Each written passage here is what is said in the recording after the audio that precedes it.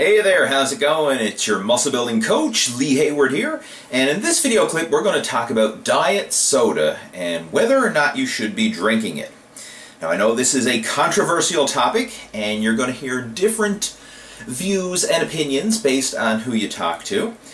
And some people believe that diet soda is a harmless beverage to consume because it's sugar-free and it's calorie-free, and thus you can basically drink as much of it as you want.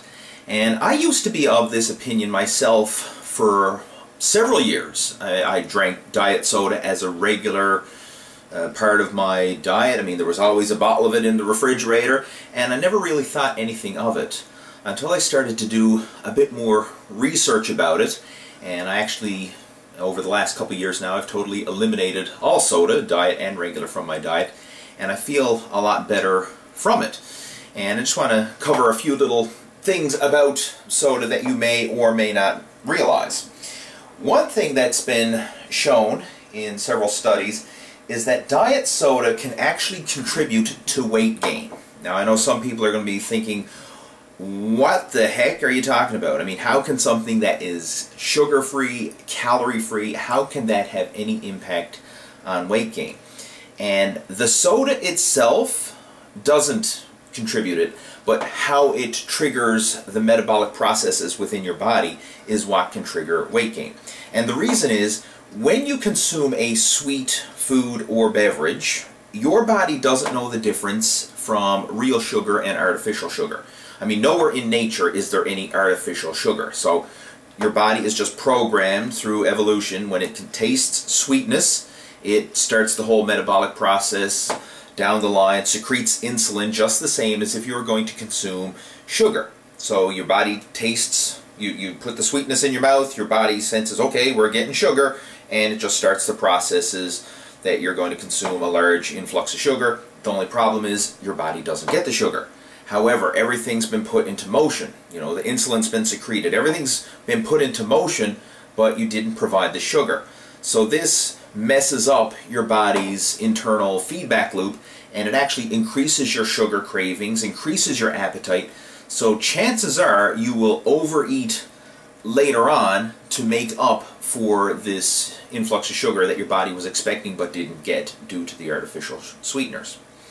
Now, I know some people hearing this are going to say, well, it's still up to the individual to count their calories and control their food intake and everything else, regardless if they consume diet soda or not. And I totally agree with you. It's absolutely up to the individual. And if you do purposely control your calories, you can still uh, get ripped, get in shape, burn body fat, all that kind of stuff. You can still do that while consuming artificial sweeteners. I mean, I've done that for years. When I was competing in bodybuilding, I mean, I've started competing in bodybuilding back in 95 and I mean all through those early years I was drinking diet soda and still getting in contest shape.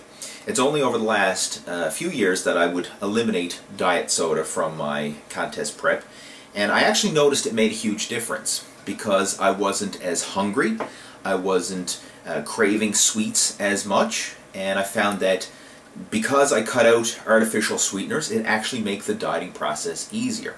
Now, it, it's kind of, you know, what do you value more? I mean, is, is the bit of pleasure you get from consuming artificial sweeteners worth having to suffer through and feeling hungry and craving sweets more? Because it, it's weird how the body works. When you eat a lot of uh, sweet foods, whether they're artificial or real, you tend to crave more sweet foods. When you eat less sweet foods, you crave them less. So the more you eat them, the more you want them. The less you eat them, the less you want them. So even though it may take a bit of willpower to overcome that initial uh, cravings that you may have, in the long run, it's a heck of a lot easier to just avoid the artificial sweeteners and to avoid you know sweet foods in general with the exception of, of an occasional treat or something like that but as a staple and a regular part of your diet I I personally don't believe it and I haven't done it in years and I feel a lot better and healthier because of it. I mean, my beverage of choice right now is just pure water, and I find that is a lot healthier, and I feel better because of it.